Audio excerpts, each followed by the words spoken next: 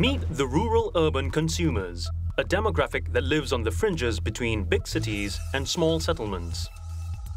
Comprising nearly 3.5 billion people around the globe, they have a combined spending power that could rival urban spenders.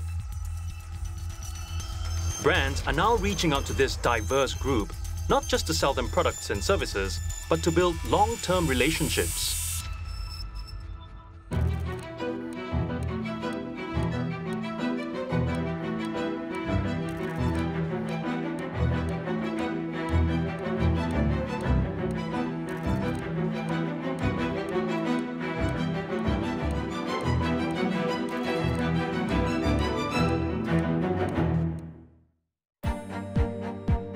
China and India are home to the biggest rural populations in the world. India has about 850 million rural consumers across 650,000 villages. That's 70% of the country's population. China has close to 580 million, with 100,000 villages and 480 small and medium cities. So if you look at China, it's had quite a transition over the last 40 years. It used to be most people in China lived in the countryside, and there's been a, a large push for urbanisation. And it's gone from 20% of urbanisation to around 60% now live in China's cities. So about 40% of the population are considered rural consumers, which means those that live outside of those urban centres. But as landscapes change, the definition of a rural consumer is evolving. Compared to urban centers, which are usually dense and concentrated, rural areas are more sparse and remote. Some companies, however, now classify places with 20,000 to 50,000 inhabitants as rural urban or urban. Strides in development mean these settlements have grown larger than a typical rural area and become more urbanized.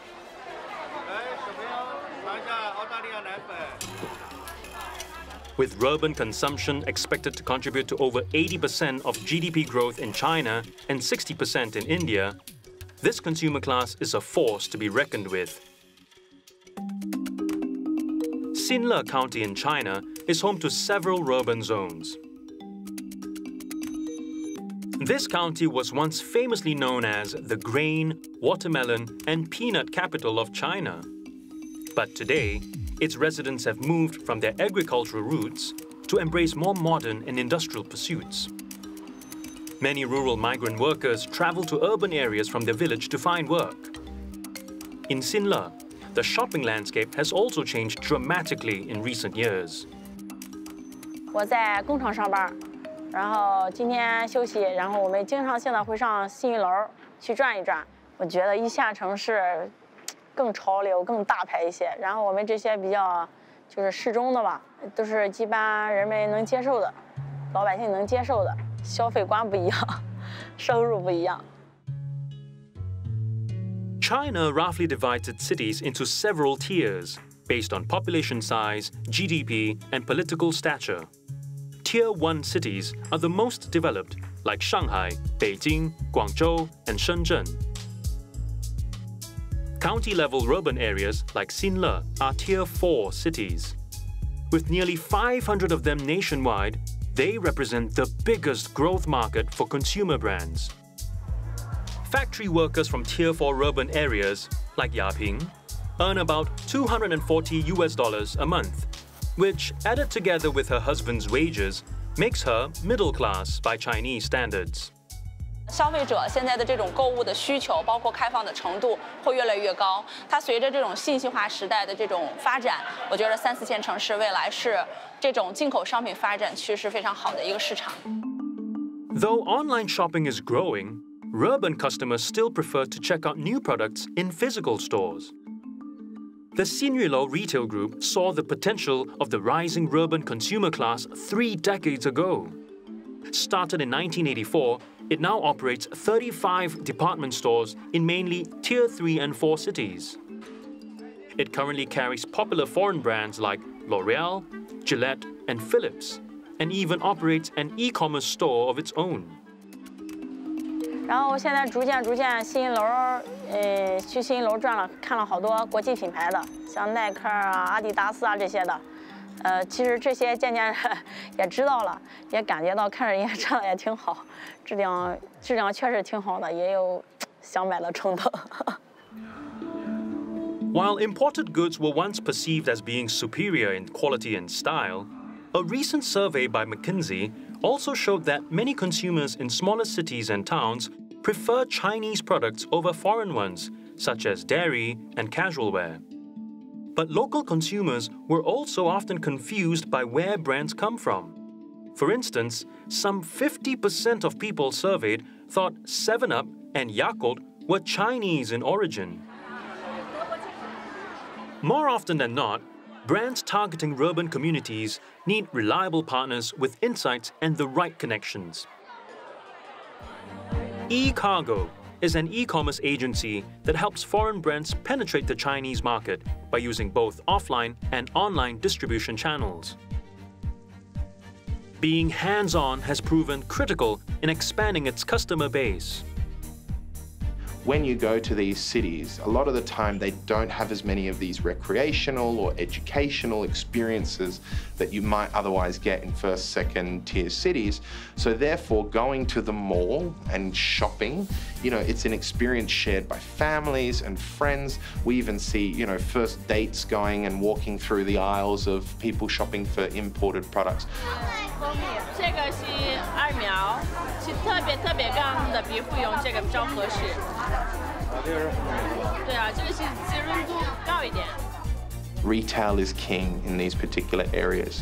It's still about the purchase, it's still about seeing the actual product, and that's something that we don't see as slowing down anytime soon.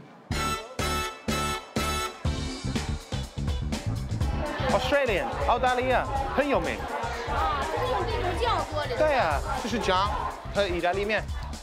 Uh, we're working with one of our fantastic retailers, Xinyulou, uh, to put on an international product event and showcase.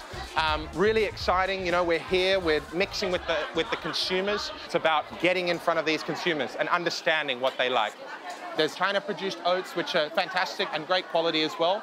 But by us being able to promote Australian quality oats, to show the consumer how they're different, but most importantly, to appeal to their different palates and tastes The consumer here in Hebei really likes sort of sweeter. So we're adding cranberries, we're adding a little bit of honey, which is helping to make particularly the children very responsive to this product. And so we're able to tailor this, a simple product like oats, accordingly to the different regional markets. 给我的感觉就是不出国门就能买到咱们 这个全球的好商品。第一个，我我觉得哈，从我这个角度来讲，我是先注重这个商品的安全性、健康性，呃，商品的品质。然后呢，其次我会在意它的性价比。Beyond the malls, businesses are now engaging the urban consumer in more innovative ways. Imagine one-stop shops that serve up everything from groceries to cash withdrawals and e-services, far away from the urban sprawl.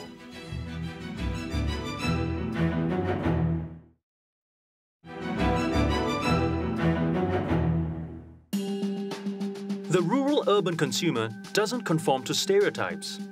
Countries like China and India are as diverse as they are vast and made up of different income ethnic and cultural groups that marketeers have to address.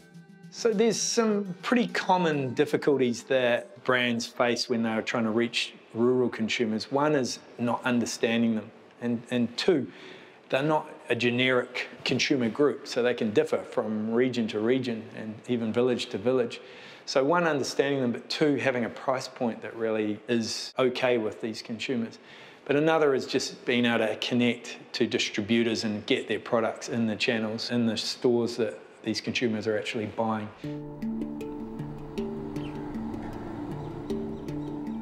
Twenty-two-year-old Kaviarani was raised in the village of Makanahali. Hailing from generations of farmers, she's the first in her family to embark on a different career as an IT trainer, where she earns 170 US dollars a month. This millennial has aspirations to live a more urban lifestyle. ನಾವು ಅಂಗ್ ಶಾಪ್ಸಲ್ಲಿ ಇರ್ಬೋದು ಅಂಗಡಿ, ಊರಲ್ಲೇ ಇದೆ ತುಂಬ shops ಎಲ್ಲ. ಅಂದರೆ cloth shop ಇರ್ಬೋದು, ಬಟ್ಟೆ, ಆ ಥರದ್ದೆಲ್ಲ ಊರಲ್ಲೇ ಸಿಗುತ್ತೆ. ಸಮ್ಟೈಮ್ಸ್ ನಮ್ಗೆ ಊರಲ್ಲಿರೋದು ಸ್ಯಾಟಿಸ್ಫೈ ಆಗಲ್ಲ, ಅಲ್ಲಿ ಇನ್ನೂ ಚೆನ್ನಾಗಿರೋದು ಬೇಕು. ಅಂದರೆ ಹತ್ರದಲ್ಲೇ ನಮಗೆ ಸಿಟಿಗಳಿದ್ದಾವೆ ಅಂದರೆ ನಾವು ಬಟ್ಟೆ ಆ ಥರ ತೊಗೊಳ್ಬೇಕಂದ್ರೆ ಹೊಸ್ಕೋಟೆ ಟ್ವೆಲ್ ಟು ಟ ಏನು ಟ್ವೆಲ್ ಟು ತರ್ಟಿ ಕಿಲೋಮೀಟರ್ಸ್ ಆಗುತ್ತೆ ಅಷ್ಟೇ. ಸೊ ಅಲ್ಲಿ ಹೋಗಿ ಪರ್ಚೇಸ್ ಮಾಡ್ಕೊತೀವಿ ಕ್ಲಾತ್ಸ್ ಅದೆಲ್ಲ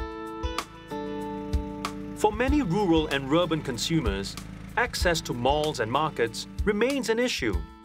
In the remote areas of India, nearly 33% of villages lack proper roads and infrastructure. For many, a trip to the city takes up a lot of time and costs them an entire day of wages. ಕೆಲವೊಂದು ಸತಿ ಇಲ್ಲಿ ಖಾಲಿ ಆಗಿರಬೇಕಾದ್ರೆ ನಾವು ತಗೊಳ್ಬೇಕಂದ್ರೆ ತುಂಬ ದೂರ ಹೋಗ್ಬೇಕಾಗುತ್ತಲ್ವ? So ಆ ಟೈಮಲ್ಲಿ vehicles ಇಲ್ಲ ಅಂದರೆ ಕಷ್ಟ ಆಗುತ್ತೆ. ಯಾಕಂದರೆ ಬಸ್ಸಸ್ ಕನ್ವೀನಿಯೆಂಟ್ ಅಷ್ಟೊಂದಿಲ್ಲ ಹಳ್ಳಿಗಳ ಕಡೆ ಬಸ್ಸಸ್ ಪ್ರಾಪರ್ ಟೈಮ್ಗೆ ಬರಲ್ಲ. ಹಂಗಾಗಿ ಆವಾಗ ಸ್ವಲ್ಪ ಡಿಫಿಕಲ್ಟ್ ಆಗುತ್ತೆ. ಆನ್ಲೈನಲ್ಲಿ ನಾವು ಮೊಬೈಲ್ಸ್ ಇರ್ಬೋದು ಮೊಬೈಲ್ ಆಕ್ಸೆಸರೀಸ್ ಇಯರ್ಫೋನ್ಸ್ ಇರ್ಬೋದು ಹೆಡ್ಫೋನ್ಸ್ ಚಾರ್ಜಸ್ ಮತ್ತು ಎಲೆಕ್ಟ್ರಿಕಲ್ ಐಟಮ್ಸ್ನ ಪರ್ಚೇಸ್ ಮಾಡ್ತೀವಿ.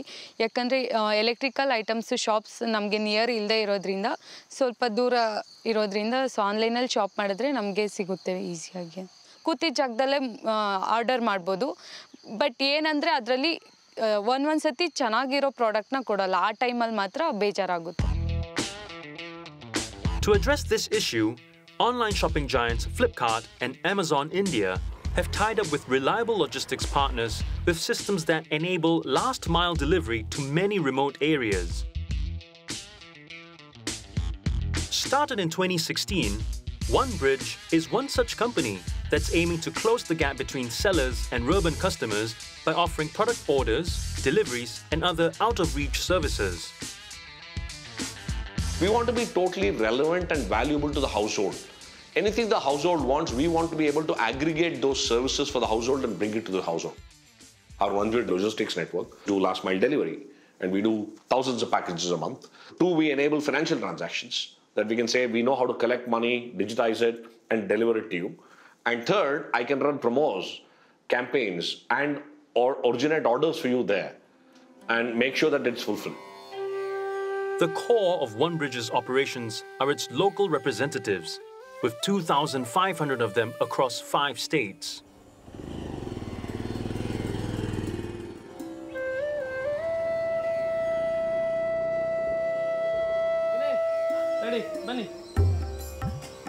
Vinay is the owner of a small neighborhood shop, or a Kirana store.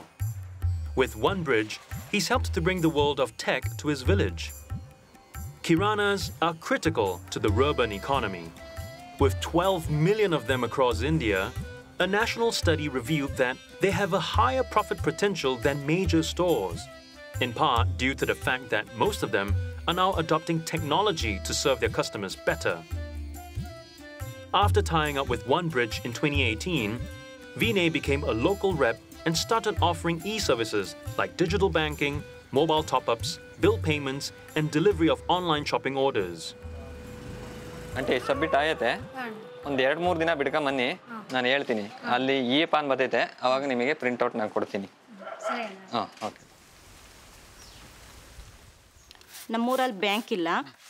ನಾವು ಎ ಟಿ ಎಮ್ಗೆಲ್ಲ ಹೋಗ್ಬೇಕು ಅಂದರೆ ಇವಾಗ ಐದು ಕಿಲೋಮೀಟ್ರ್ ದೂರ ಹೋಗಿ ಅದನ್ನು, ನಾವು ತಗೊಳ್ಳೋ ಅಷ್ಟಕ್ಕೆ ಬ್ಯಾಂಕ್ ಕ್ಲೋಸ್ ಆಗೋದು ತಿರ್ಗಾ ನಿರಾಸೆಯಿಂದ ವಾಪಸ್ ಬರಬೇಕಾಗಿತ್ತು. ಇವಾಗ ಏನಂದರೆ ವಿನಿ ಇರೋದ್ರಿಂದ ನಾವು ಯಾವಾಗ ಬೇಕಾದರೂ ಫೋನ್ ಮಾಡಿ ಕರೆಸ್ಕೊಂಡು ನಾವು ಡ್ರಾ ಮಾಡ್ಕೋಬೋದು. ಡ್ರಾ ಮಾಡಿದ್ರೆ ಅದೇ ಇದರಿಂದ ಉಪಯೋಗ ನಮಗೆ. ಮೊದಲು ನಡ್ಕೊಂಡು ಹೋಗಿ ಇವೆಲ್ಲ ನಮಗೆ ರಿಸ್ಕ್ ಆಗೋದು.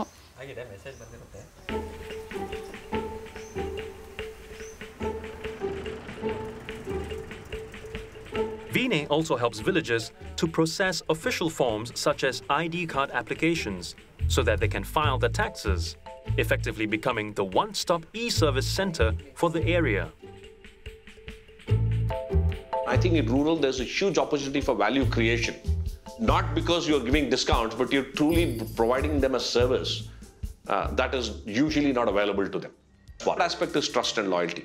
Unfortunately, in India, a lot of our rural consumers have been scammed by various people going in and promising the moon. and then shortchanging them, right? So whenever we've gone into many of these villages, they look at us with a hint of suspicion, saying, hey, what you guys are saying, is it too good to be true? Will I get scammed? So having a local partner who's trusted by the community and who trusts us is a critical component, so to speak. Building trust with urban and rural consumers is a vital strategy for gaining mind share. Companies are realizing that beyond their usual marketing channels, they have to go the extra mile with education and even personalized service. Multinationals like Unilever run regular health education programs and campaigns in the field to promote hygiene and sanitation across Asia's urban and rural communities. In Indonesia, ride-hailing startups like Gojek even help to deliver medical supplies from local hospitals to residents in more remote areas who cannot travel. These strategies help the brands build both goodwill and awareness for their services among the growing urban centers. Meanwhile, in India and China, the real battleground for the urban dollar is playing out in the digital space. With billions of dollars at stake, the game of retail is being transformed further with technology.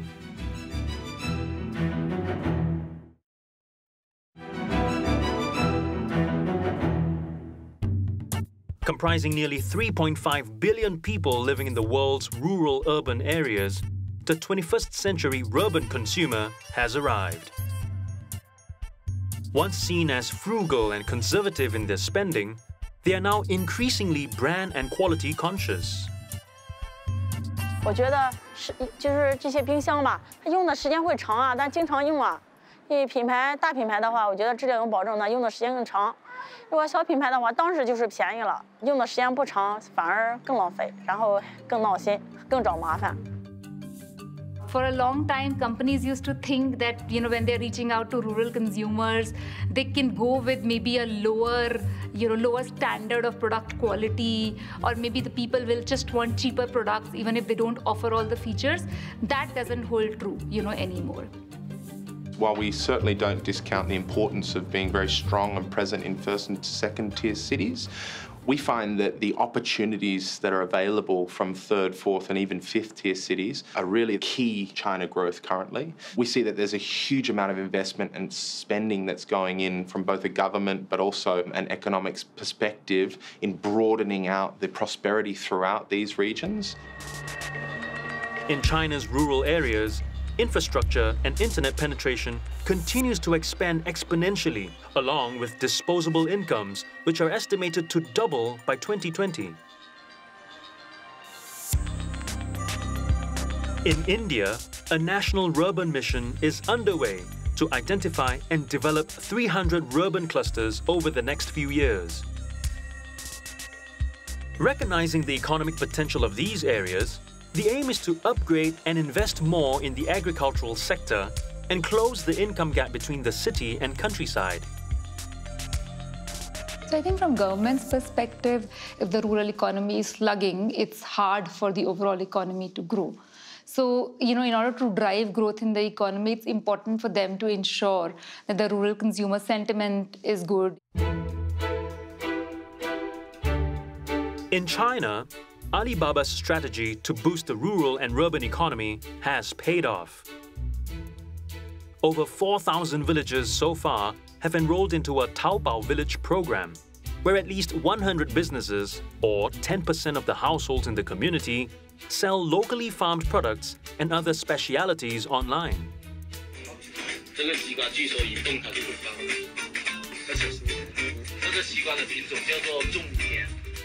As of June 2019, the total sales volume from this scheme hit 700 billion RMB, or 98 billion US dollars. Some 20 million jobs are expected to be created over the next decade. Alibaba's scheme is now being studied by other countries as a means to modernize and improve the fortunes of other rural economies. E-commerce has also changed the urban population's consumption patterns in China. Online sales exceeded 100 billion US dollars in mid-2019, outpacing the national growth rate. In order to meet the demand, Alibaba has set up over 30,000 local service centers in over 700 counties to facilitate orders and pickups, with more to come. Competitors Pinduoduo and JD.com aren't far behind. To overcome logistics issues, JD.com even deploys drones to make deliveries to remote areas. In India, OneBridge has taken it one step further. It is piloting a radical approach to bring modern shopping to the villages all around Bangalore. Wearing VR headsets, urban consumers can choose products ranging from mobile phones to cars in this virtual shopping environment instead of a physical mall. I think there's a huge opportunity for tech. For example, one of our consumers asked us last year, why can't you get a mall to my village? And I was trying to explain to him, listen, nobody's going to put a mall in your village because your village is 5,000 people. Uh, how can anybody build a mall? Was saying, hey, you guys are technology guys, why don't you figure something out? And that's when it struck me, if the consumer can't go to the mall, why can't we take a mall to the consumer? And we actually launched India's first ever virtual reality mall for rural consumers. You could actually give them an experience of being inside a virtual reality mall. They could see the products. And we've tested this over about 50,000 people in the last one year, and the response has been phenomenal. As rural consumers get more discerning, the classification of urban, rurban, and rural consumers will become less distinct. But beyond advertising, the community they live in will play a strong factor in determining the success of a product. Rural consumers trust their networks you know more than anything else right? If there's positive talk about your brand in their local community you know their local opinion leaders then that's really likely to benefit your brand. So it's almost like a network effect that if there's positive word about your brand then every it will influence everybody in that village